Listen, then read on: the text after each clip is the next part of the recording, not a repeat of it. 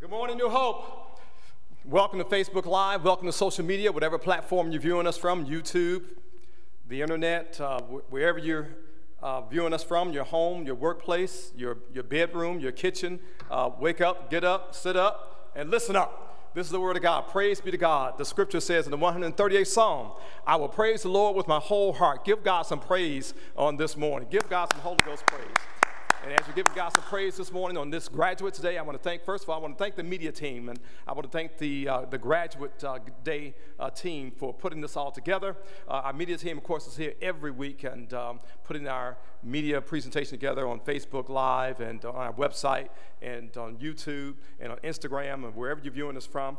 And so I, I, certainly want to give a shout out to them and all those who are viewing us from outside of the community, outside of the state of Michigan. I want to say uh, thank you all for tuning in and um, to the Word of God here at New Hope Church. And to all of our graduates, I want to congratulate all of our graduates. I know uh, that um, you've been upended this year. I want to say congratulations to the class of 2020, or I should say to the class of 2020 uh, through the months of, say, March. I know everything was shut down in March, and so um, you, your, your, your total term was circumvented, was upended, and uh, graduation of sorts have been waived or modified or revised in some sort, or maybe even uh, rescheduled or recast. But uh, no matter what the circumstances are, I just thank God that you made it uh, this far and you've been successful and um, you've been given your certification now for moving on to the next level. I'm going to ask you to turn with me to the Gospel of Matthew, chapter 6. The Gospel of Matthew, chapter 6. And I'm going to start at uh, verse 33, and then I'm going to back up and read um, beginning at verse 25. So we're going to look at Matthew, uh, chapter 6, beginning at uh, verse 33, but I'm going to back up and read um, verse 25. But um, I want to first of all remind everybody again. I said in the announcements, I want to remind everybody again on this coming Saturday, July the 4th, um, we're going to have a holiday drive by holiday drive by. I want you to come by and greet Pastor, and I want to greet you. And uh, I want you to greet each other because our mission here at New Hope Church is connecting people to Jesus and to one another. So, even in the midst of a shutdown, even in the midst of a slowdown, even in the midst of a quarantine, and in the midst of a lockdown, uh, we've not been meeting in church because um, it's, it's just too risky um, and, and the transmission, the viral transmission, uh, is too high within the confines of a church when you're singing or talking and so forth like that. And so we're going to return back to church when it's safe. Um, I know a lot of you are wondering when we're going to come back to church. I know there might be some other churches already meeting, uh, but we're here at New Hope Church. I'm waiting for the Lord to tell us when to come back uh, in a safe environment. And when we come back, it's going to be a reduced environment. And uh, so we're going to continue doing what we're doing virtually so that everybody can enjoy the worship that's put together for you every week and every Sunday. Uh, certainly, continuing your reading, um, your, your Bible reading through, uh, reading through the Bible in a year with Pastor. And uh, you should be uh, coming up right up to ending in the Psalms. We should be right ending close to the end of the Psalms right about now. And uh, so join with Pastor in reading through the Bible in a year. And this coming Saturday, July the 4th, from 11 o'clock to 12 noon. From 11 o'clock to 12 noon, come by and wave at Pastor, greet Pastor, and drive by here at the church. And I want to wave and greet you, and I want to say I love you. And again, I want to thank I want to thank Sister Daniels, for, Sister Lily Daniels, for teaching me how to say I love you uh, using sign language, using sign language. And this, I love you using sign language is like this: I love you. That's I love you in sign language. So thank you, Sister Daniels. And also, I want to say happy birthday to Sister Daniels. She's 80 years old this week. Uh, Sister Lily Daniels, 80 years old this week, so happy, happy birthday, Sister Daniels, and all other, uh, all other June birthdays, and going into the month of July. Uh, but all June birthdays, happy birthday, and I love you. So tell somebody right now, I love you. And you don't have to say it by speaking, but just sign it to them. In a time like this, the less you speak, maybe that might be the best. If you don't say anything, you know, the less words you say, that might be the best. So I love you. Get it? Got it? Good. God bless you. And also, I want to be prayerful for uh, Dan and Wendy Cahill. Um, Dan's brother died this past week, and uh, we want to send out our prayers for Dan and Wendy Cahill. Let us pray. Holy God, now, Father, we thank you in the name of Jesus. We thank you for your written word and for your spoken word. And now may we know your living word. In the name of Christ the Lord, we pray. Amen the Gospel of Matthew, chapter 6. And I'm going to start reading at verse 33 and 34, and then I'm going to back up to verse 25. But seek first his kingdom and his righteousness, and all these things will be given to you as well. But seek first his kingdom and his righteousness, and all these things will be given to you as well. Therefore, verse 34 says, Therefore, do not worry about tomorrow, for tomorrow will worry about itself. Each day has enough trouble of its own. Now, let me give you a little commentary here. Whenever you read the word but, there's something that comes before it. Whenever you read the word but, there's something that comes before it. So verse 33 started with but. Now I'm going to go, I'm going to back up and read verse 25, beginning at verse 25, because this is the passage that comes before, of course, verse 33. Beginning at verse 25, it says, Therefore I tell you, do not worry about your life. Do not worry about what you'll eat or drink, or about your body, what you'll wear. Is not life more than food, and the body more than clothes? Verse 31 goes on to say, So do not worry, saying, What shall we eat? Or what shall we drink? Or what shall we wear? For the pagans run after all those things, and your heavenly Father knows you need them. And then verse 33 goes into it says, But seek first his kingdom and his righteousness, and all these other things will be given you as well. I want to talk about this morning. I want to talk about this morning God's path. I want to say again, congratulations. I was, I was wearing my, um, my academic regalia today uh, in honor of all of our graduates. And uh, I know all of our graduates, you've, been, you, you've worn yours. If you had a modified graduation of any sort, you've worn your academic regalia as well uh, with my robe, with my vestment, um, with my doctor bars, and, uh, and my tam representing uh, graduation as well too. So I'm going to take this off, but I want to say to all of our graduates, congratulations again. I want to talk about this morning God's path. God's path. As a graduate or promotion from one grade to another, you're making progress in life, achieving a goal, protesting for reform throughout the country or locally, or fighting for justice and equity where you are in your community. You are merely turning the page in your life that ends one chapter and begins another chapter. And this is an exciting time for all of us. It's an exciting time, but at the same time, it's an unprecedented period. Think about it like this the actual graduation ceremony, of which we call, uh, of which for many of you was canceled, uh, is called commencement. The actual graduation ceremony is called commencement. When something commences, that means it starts. Commences means to start. And, and that's what's happening for graduates, and many of you today involved in the movement. But don't worry. I, I, I, know, I know it wasn't a traditional ending for you, but don't worry, because many of us have been where you are. And we trusted God, and God worked it out. And that's essentially what I want to say to you today. No matter how unusual, no matter how untypical, no matter how abnormal, no matter if you had to start or, or, rather stop in March and, and start up again in a virtual format, and, and it was difficult. Matter of fact, not only was it difficult for you as students, but it was difficult for professors and for teachers as well, and for staff, and for the whole educational system. But no matter how, no matter how you come to this point, thanks be to God that you got here. Today, we're celebrating here at New Hope Church. We're celebrating this as Graduates Day, and God has brought you safe thus far. And uh, many of us have been through some tough times, some rough times, and, and some bumpy roads, and some curvy uh, journeys. But yet, God brought us here, and guess what? God worked it out for us, and He'll work it out for you as well. The key is God. The key is God. You need to realize that if, if you're going to make it day by day, it's God that woke you up. It's God that opened your eyes. It's God that gave uh, warm running blood in your body. It's God that allows you to shake your hands. It's God that allows you to get down on your knees. It's God that allows you to get started on another day. It's a God that allows you to make it through the day. And so the key is God. Give thanks to God. I will praise God with my whole heart with my whole heart. And it's important to make sure that you put first things first. Put God first.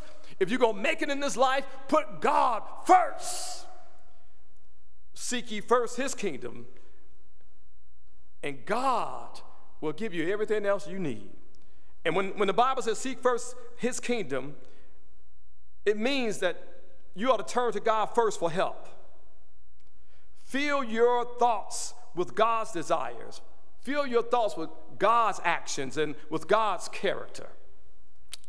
Make sure that you get God first. If, if, if, if, you want to be successful, you need to know that God is good and everything God does is good. When God created you, when God made you, God made you good.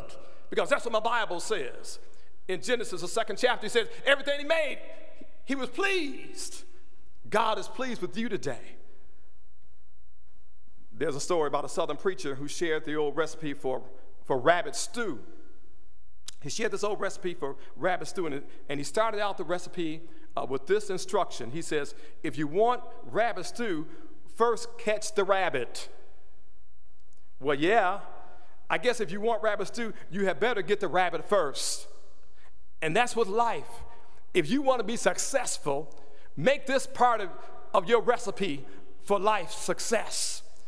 Look at Joshua chapter 1, verse 9 says, if you focus on this word, if you concentrate on this word, if you study this word and put it in your heart, God will give you um, uh, success and He'll give you prosperity. But you got to be courageous enough to pick it up every day and, and recognize that what God's recipe for your life is, is right here in the Bible. It's in God's word. Matter of fact, somebody told me a long time ago, Bible means uh, basic instructions before living, before leaving earth. B I B L E basic instructions before leaving earth. That's what God's word is.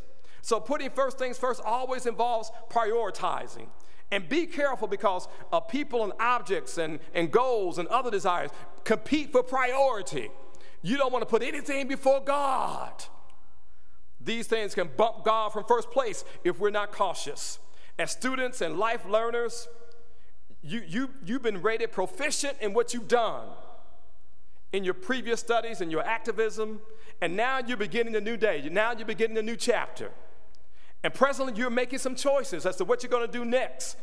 Some of you are going to choose college. That's a good choice. Some of you are going to choose great, uh, a trade, uh, or go to trade school. That's a good choice.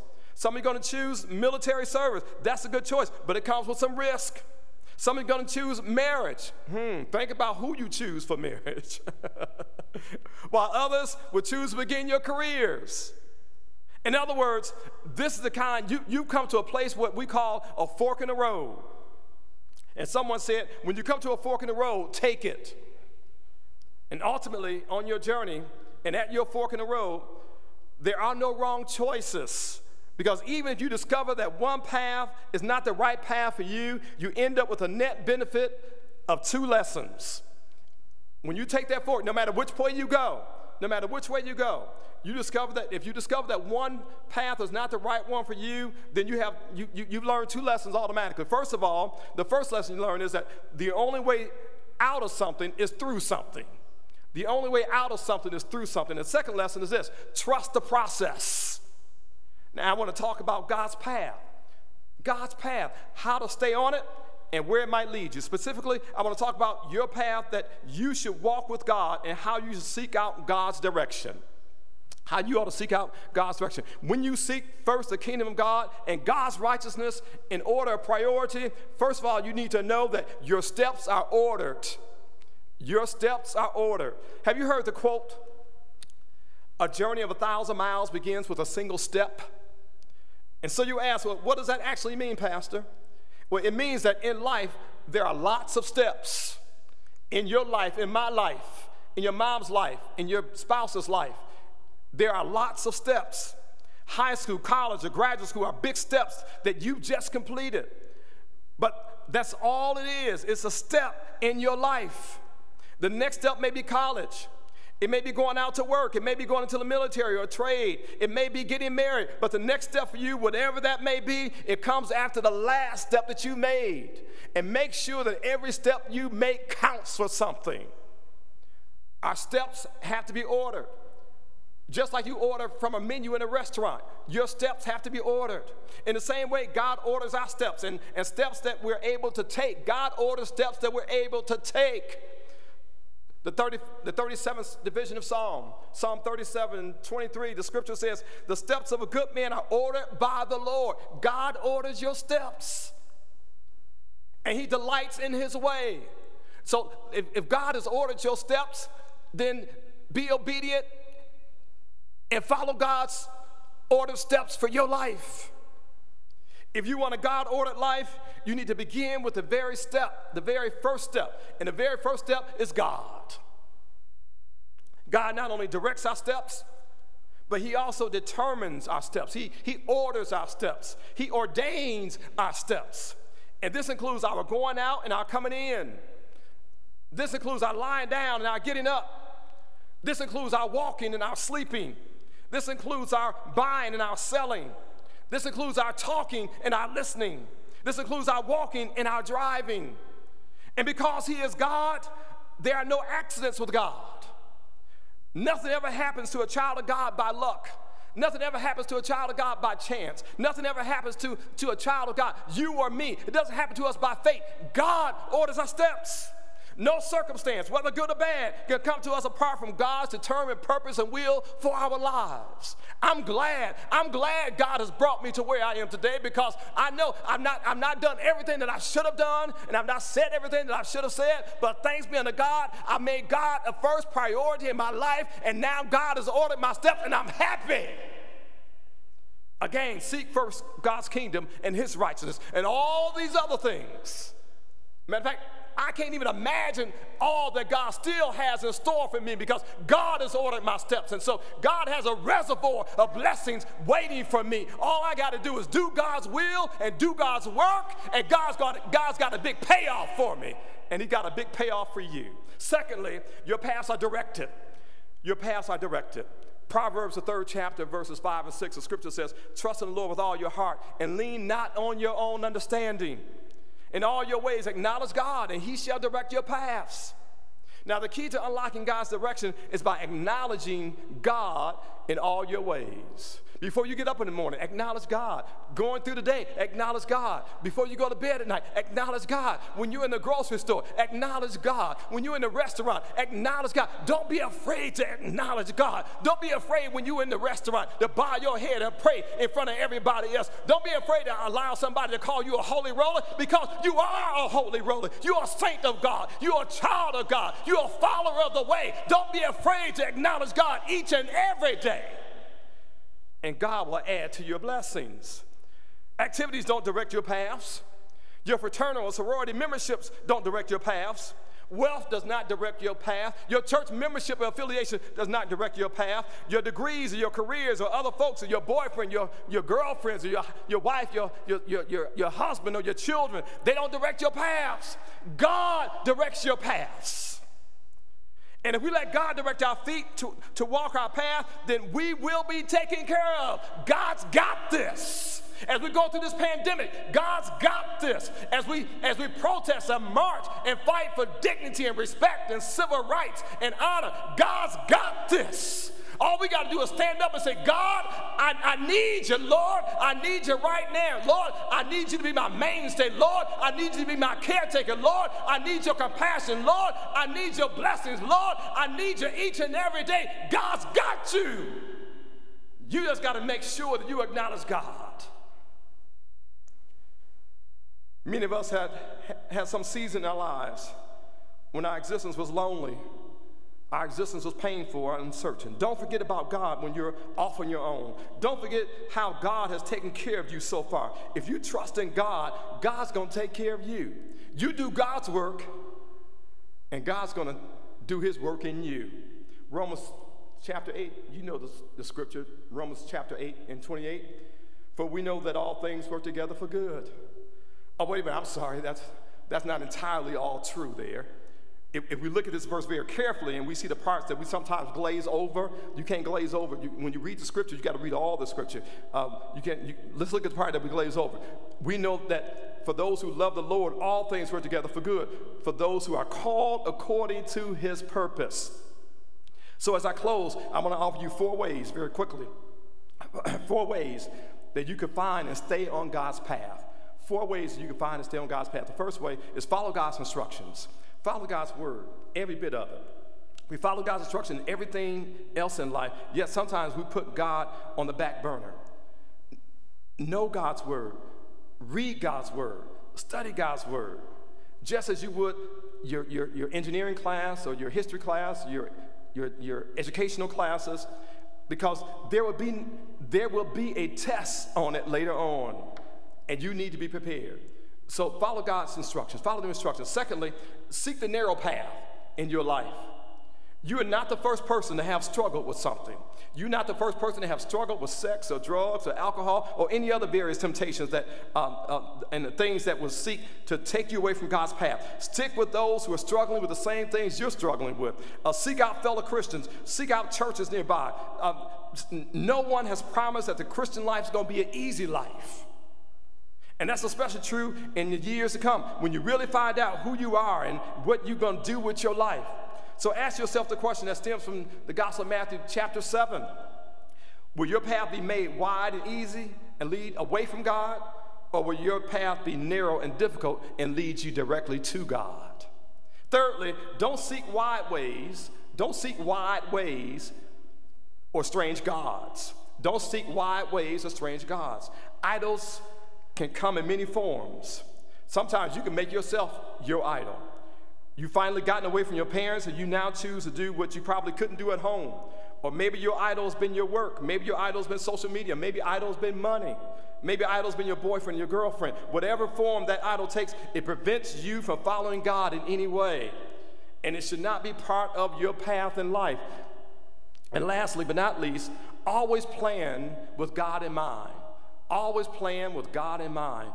When I started college, I studied and, and graduated from Morehouse and Georgia Tech and uh, engineering. And, um, and, and, and, and I planned to provide for my family as an engineer. Now, as a pastor, I didn't plan on being a pastor, but my life did not turn out as I thought it would, but it turned out exactly as God thought it would. Let me tell you, let me, let me close with the scripture Jeremiah 29 and 11, and you know it. It says, I know the plans I have for you, plans to prosper you and not to harm you so God knows your plans. God knows the plans He has for you. And I want to thank all the young people who have participated with us, all the adults that participated with us in Graduate Day.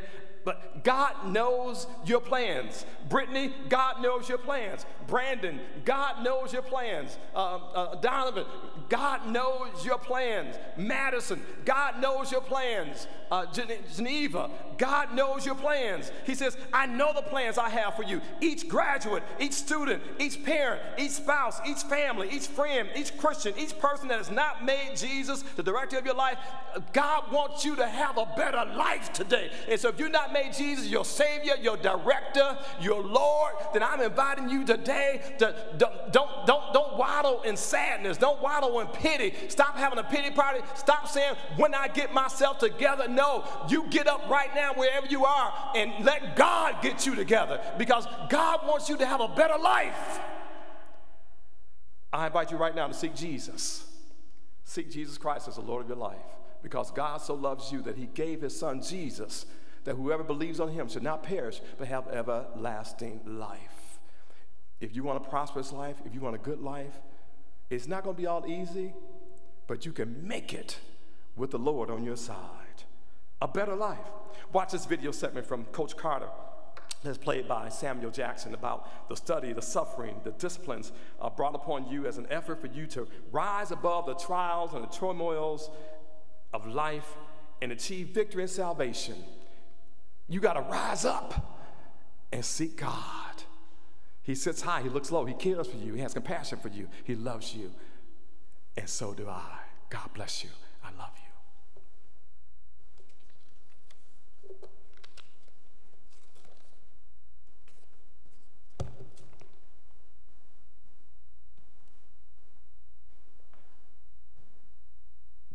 It came through all right, Brother Culpepper?